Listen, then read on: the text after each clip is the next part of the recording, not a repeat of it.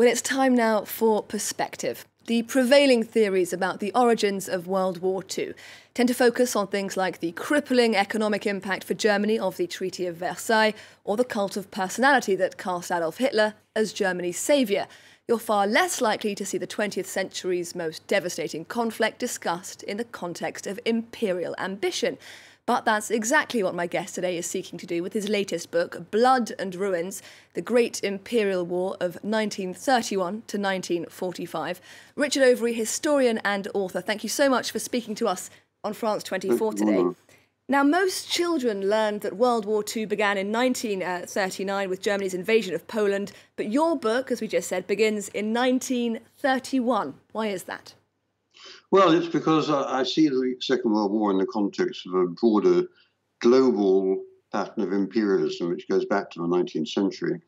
Uh, and in the 1930s, Japan, Italy, and Germany, all of them separately decided that they wanted to build a larger territorial empire, like the British and the French Empire and so on, and somehow they deserved it. Uh, and this was the way in which the world was going to develop. It was a kind of geopolitical fantasy but in 1931, Japan launched that program with the occupation of Manchuria, and it went on step by step through the 1930s. So I'm trying to see the Second World War cast in a much broader context than simply 1939 stopping Hitler. And what then was it specifically about Germany at this point in the in the early mid 30s that made it, uh, you know, the the candidate for uh, leading this imperial expansionism uh, across Europe. What was it about Germany specifically? Well, the problem with Germany was that in 1919, Germany lost its empire in the Treaty of Versailles. Uh, and that created a, a, a, a, well of bitterness in Germany that, that, all the other could have empires, even little states like the Netherlands or Belgium, but they didn't. Uh, now, that might not have led anywhere had it not been for Hitler, because Hitler was dedicated to the idea that Germany would only become great if it had a large territorial empire. And it would carve that territorial empire out of Eastern Europe. So the critical thing, of course, was the appointment of Hitler in 1933.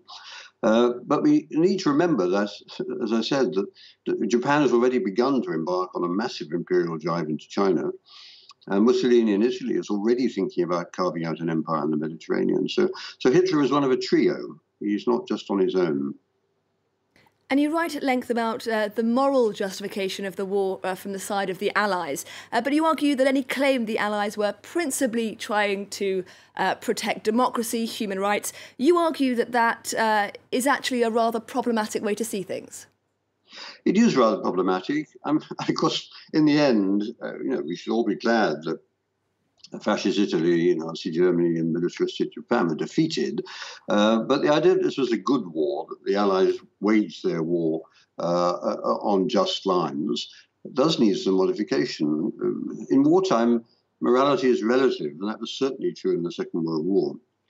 Uh, a state like the United States, claiming to be fighting on the side of freedom and democracy, is still able to drop an atomic bomb on an open city uh, and kill 80,000 people at a stroke. So we, we need to be clear that to win total war, even the Allies sometimes had to adopt positions that we might regard as morally questionable. And you write about, uh, of course, just how bloody uh, these numerous imperial projects uh, were. Does imperialist expansionism in the 20th and 19th century necessarily entail human suffering? I'm afraid it does. Uh, I know that there's a there's a move underfoot to try to rehabilitate uh, some of this imperialism. And in Britain, there's a very sentimental view now of empire. But at the end of the day, empire is about reducing people to subject status, uh, removing their sovereignty, uh, and of course, exploiting economically the resources that are now available. And sometimes, or indeed often, that involved violence, whether it was the British or the French empires, or whether it was later on the German, Italian, and Japanese empires.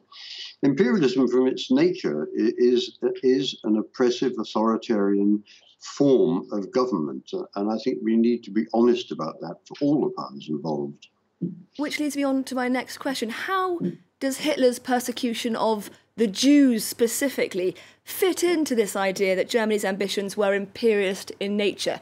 The the genocide of you know the Jewish people. Where does that fit into the imperialist project? Well, that's an interesting question. Uh, throughout the book, in fact, uh, I've woven the, the, history of the Holocaust because it seems to me that the history of the Holocaust and the history of war uh, are, are, tightly intertwined. They're not separate histories. And the problem is that, that Hitler chose to occupy that part of Eastern Europe and Western Soviet Union where most of Europe's Jews lived. Now, Hitler wanted this to be German imperial colonial space. He didn't want it to be full of Jews. Uh, and he blamed the Jews anyway for what had happened to Germany, somehow there was a global conspiracy. Uh, and so they would suffer. Uh, and this bizarre way in which Hitler was able to link uh, territorial expansion and nature of the war and his war against the Jews is what made it so deadly. And now your book is titled The Great Imperial War of 1931 to 1945, the implication being that the Great Imperial War came to an end with the end of the Second World War. Did the end of the war, in your opinion, necessarily mean the collapse of global territorial empires?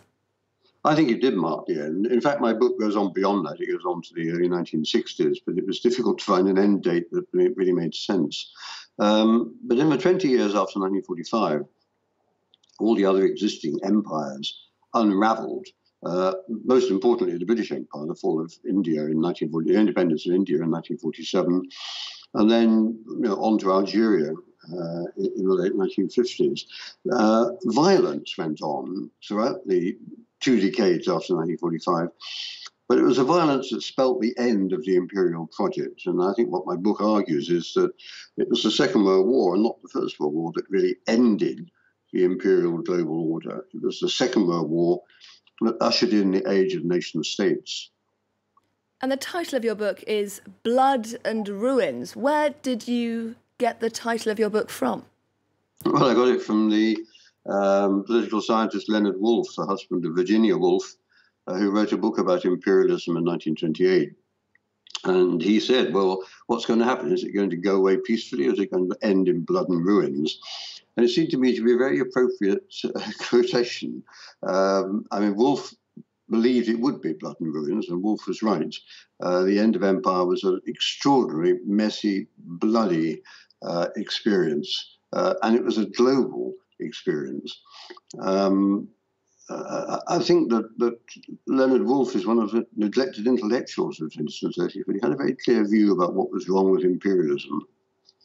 Richard Overy, uh, fascinating stuff. I'm afraid we're going to have to leave it there. Richard Overy, historian and author of Blood and Ruins. Thank you so much for speaking to us on France 24 today. Thank you.